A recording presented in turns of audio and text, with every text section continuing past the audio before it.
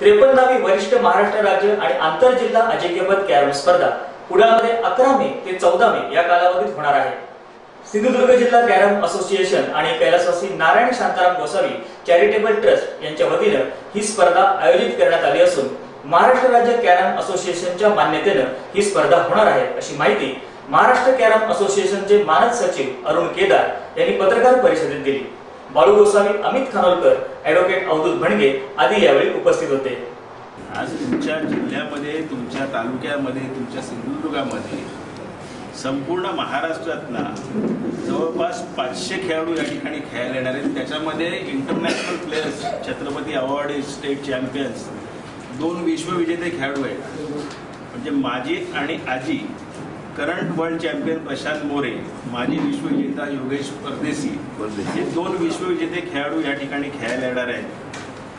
हे लोकांपर्यंत पोचवायचं जर असेल तर तुमचंच माध्यम आहे.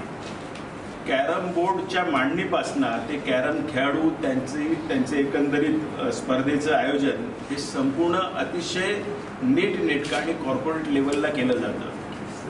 सर्व खेळाडू आमचे अतिशय चांगल्या गणवेशामध्ये खेळतात.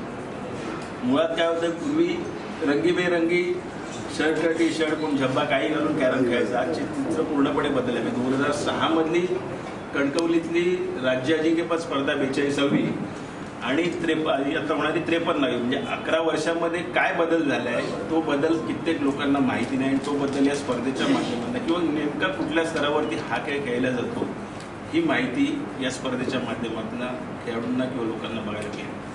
आपण ज्या पद्धतीने कॅरमवरती दिवे लावतो साधारणपणे तुम्ही प्रत्येकजण कॅरम हा आयुष्यात कुठे ना कुठे ना कधी ना कधीतरी खेळलेला आहात. पूर्वी वरना दिवे लावायचे आणि खाली कॅरम मांडलेला असायचा.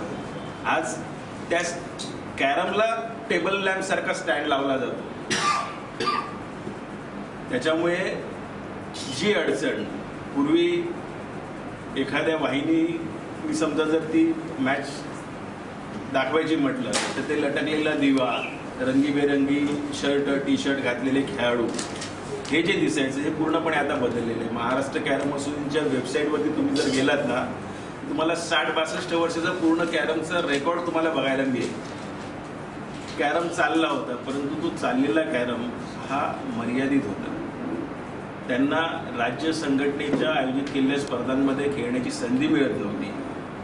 आज ते दरवाजे ह्या स्पर्धेच्या माध्यमातून ह्या ॲफिलिएशनच्या माध्यमातून पुन्हा सुरू झाले आहेत. आज तुमचा नावीस डॅन्टस हा राष्ट्रीय स्पर्धेमध्ये राज्यामार्फत जाऊ शकेल उद्याचा तो आंतरराष्ट्रीय खेळाडू होऊ शकेल. वरुण गोसावी हा राज्य आणि राष्ट्रीय पातळीवरती खेळलेला आहे त्यालासुद्धा ती संधी मिळू शकेल.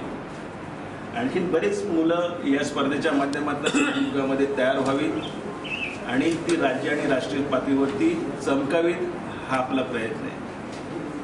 या ठिकाणी ही जी स्पर्धा होती आहे ही स्पर्धा करण्यासाठी महाराष्ट्र कॅरम असोसिएशन निश्चितपणे पूर्णपणे सुरुवातीलाच सांगितल्याप्रमाणे सिंधुदुर्ग जिल्हा कॅरम संघटनेच्या पाठीशी आहे. केवळ सिंधुदुर्गाच्या नाही तर महाराष्ट्रातल्या कुठल्याही कानाकोपऱ्यामध्ये होणाऱ्या कॅरम स्पर्धेच्यासाठी महाराष्ट्र कॅरम असोसिएशन जी नेहमीच पॉझिटिव्ह असते.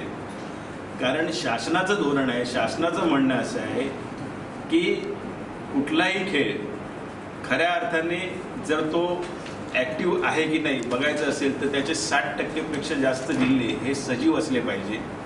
महाराष्ट्र कॅरम संघटनेला बावीस जिल्हे संलग्न आहेत आणि त्याच्यातले पंधरा जिल्हे हे फुलफ्लेज प्रत्येक इव्हेंटमध्ये खेळतात. म्हणजे साठ टक्केच्या क्रायटेरिया आपण कवर केलेला आहे. पण ती टक्केवारी वाढायसाठी आपण प्रयत्न केले पाहिजे आणि ते प्रयत्न महाराष्ट्र कॅरम असोसिएशनच्या वतीने आमचे चालू आहेत. पूर्वी कसं होतं की पूर्वी स्पर्धा होत होत्या. खेळाडू खेळत होते त्यांची निवड होत होती. परंतु त्याला नियमाच्या चौकटीत बसून कोणी काही काम करण्याचा प्रयत्न केला नाही महाराष्ट्र कॅरम संघटनेच्या माध्यमातून ही सगळी चौकट म्हणजे कॅरम चौकोनी आहे आणि चौकट बनवण्याचं काम महाराष्ट्र कॅरम असोसिएशन आणि त्या चौकटीमध्ये हा खेळ लोकांपर्यंत पोहोचवण्याचं काम महाराष्ट्र कॅरम असोसिएशनच्या माध्यमातून केलं आहे. माझे बंधू तुल्य जे अरुणजी केदार आहेत यांची कॅरमविषयीची तळमळ कळकळ आणि ते जे काय कॅरमसाठी करतायत हे सर्व बघून त्यांना कुठेतरी त्यांच्या पाठीमागे उभं राहिलं पाहिजे त्यांना सपोर्ट केला पाहिजे. हा एक विचार फक्त हा एक विचार ठेवून मी कॅरमकडे आकर्षित झालो. दोन हजार सहा नंतर सिंधुदुर्ग जिल्ह्यामध्ये अशी म्हणावी तशी अशी मोठी स्पर्धा झालेली नव्हती. याचं कारण म्हणजे जिल्हा कॅरम संघटना दुर्लक्षित दुर्लक्षित झालेली होती. अरुण केदार सरांच्या पुढाकाराने ही संघटना संघटनेचं पुनरुज्जीवन केलं केलं गेलं आणि गेल्या दोन वर्षामध्ये या संघटनेने खरोखरच एक बाळसं धरलेलं आहे. केदारसाहेब म्हणाले की राज्य अजिंक्यपद स्पर्धा घ्या. म्हटलं चांगली पर्वणी आहे. पूर्ण महाराष्ट्रामधनं ज्यांचा खेळ कोकणवासियांनी कधी बघितला नव्हता असे इंटरनॅशनल राष्ट्रीय लेवलचे इंटरनॅशनल लेवलचे खेळाडू इथे येणार आपला खेळ दाखवणार. खेळाची पर्वणी इथल्या प्रेक्षकांना पाहायला मिळणार. हा एक हेतू आणि कॅरमचा प्रसार होणार हा एक हेतू मनात ठेवून मी या स्पर्धेचं प्रायोजकत्व सांभाळलेलं आहे. जिल्हा कॅरम संघटना आणि महाराष्ट्र कॅरम महाराष्ट्र राज्य कॅरम संघटनेने मला जे पाठबळ दिलं जे मला त्यांनी भरारी घेण्याकरता उद्योग केलं त्याबद्दल मी जिल्हा कॅरम संघटना आणि महाराष्ट्र राज्य कॅरम संघटना विशेषतः अरुण केदार सरांचं मी अत्यंत आभारी आहे.